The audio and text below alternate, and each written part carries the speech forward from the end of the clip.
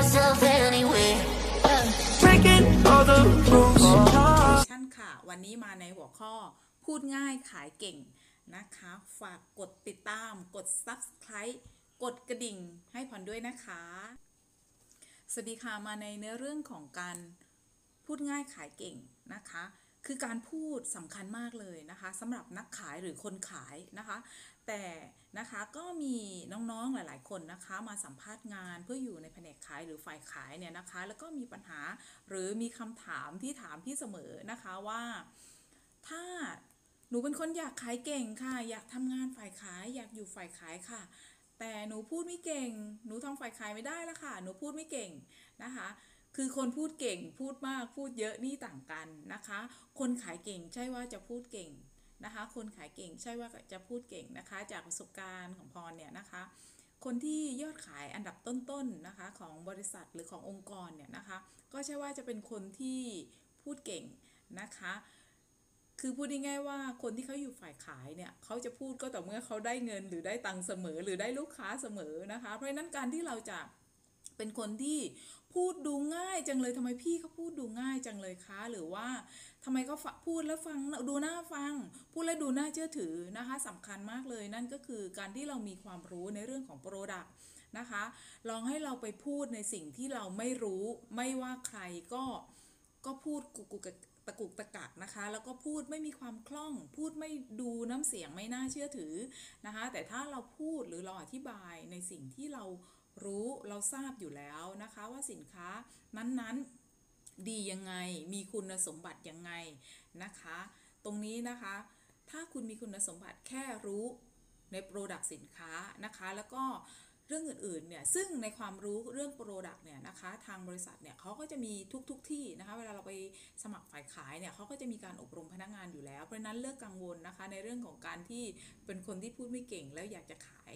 ของอยากจะขายสินค้าเนี่ยนะคะง่าย ๆนะคะ เพียงแค่เราตั้งใจฝึกฝนนะคะ แล้วก็บางเรื่องบางอย่างสเปคของสินค้าเราในส่วนของตัวเลขนะคะ ในส่วนของตัวเลข น้ำหนักเท่าไหร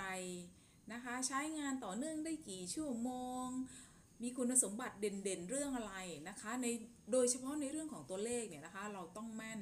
นะคะ ต้องจำให้แม่นอาจจะต้องมีการท่องกันเลยทีเดียวนะคะ และสำคัญนะคะการที่เรามีความรู้เรื่อง product นะคะ แล้วก็ตอบเพื่อใช้ในการตอบข้อโต้แย้งของลูกค้าเนี่ยนะคะ มันนำไปสู่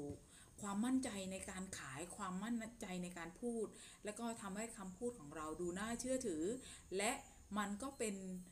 ที่มาของการปิดการขายได้แน่นอนนะคะสำคัญมากเลยแล้วก็อีกอย่างหนึ่งนะคะในการพูดที่เรา รู้ในเรื่องของคุณสมบัติของสินค้าแล้วเนี่ยนะคะสำคัญก็คือน้ำเสียงในการพูดนะคะ ต้องมีต่ำมีสูง ตรงไหนที่เราต้องการเน้น เราก็เน้นเสียงนะคะ ให้รู้สึกว่าโอ้โหคุณผู้หญิงคะปากกาด้ามนี้มันใช้ดีจริง ๆ ค่ะ มันลื่นนะคะ แล้วก็เราอันนี้เราผลิตมาไม่มากอะไรอย่างเงี้ย คือคุณสมบัติอะไรที่มันเด่นๆ เราสามารถที่จะพูดให้ลูกค้า เน้นลงไปเพื่อให้ลูกค้ามั่นใจในสินค้าของเรานะคะ แล้วก็นี่เป็นเหตุผลต้นๆนะคะที่ทำให้ฝ่ายขายของเรานะคะ สามารถที่จะปิดการขายได้นะคะ ความรู้เรื่อง product แล้วก็น้ำเสียงในการพูดนะคะ ถ้าเรามีความรู้เรื่อง product แน่นแล้ว น้ำเสียงในการพูด เราก็มีความมั่นใจแน่นอน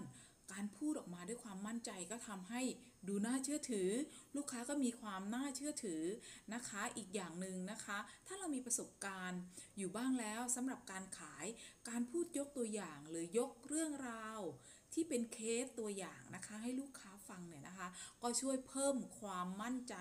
ให้กับลูกค้าในสินค้าของเราได้อย่างแน่นอนนะคะ เพราะฉะนั้นแล้วนะคะน้องๆที่มีความสนใจในเรื่องงานขายนะคะ แล้วยังติดในเรื่องของการพูด นะคะที่ไม่เก่งหรือไม่มั่นใจมากพอนะคะ แนะนำว่าทุกอย่างฝึกฝนได้นะคะ ไม่ว่าคุณไปทำงานที่ไหนบริษัทที่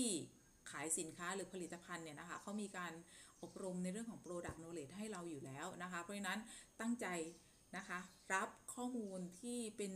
คุณสมบัติของสินค้า เพื่อเอาไปถ่ายทอดกับลูกค้านะคะ แล้วเราต้องมาตีโจทย์นิดนึงนะคะว่าคุณสมบัตินั้นๆ เราไปช่วยในการแก้ปัญหานะคะ สินค้านำไปใช้ในการแก้ปัญหาให้กับลูกค้าของคุณได้อย่างไรนะคะสำหรับวันนี้นะคะ ฝากติดตาม Arpon Station ด้วยนะคะ สวัสดีค่ะ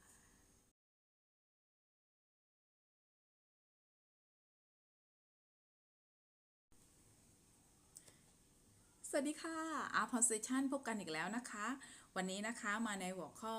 พูดไม่เก่งอยากขายเก่งทำได้อย่างไรนะคะ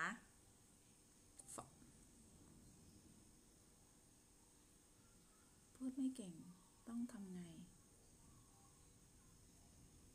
พูดอย่างไรให้ขาย พูดอย่างไรให้ขายเก่ง พูดอย่างไร ให้ประสบความสำเร็จในเรื่องการขาย พูดอย่างไรให้พูดอย่างไรเพื่อปิดการขาย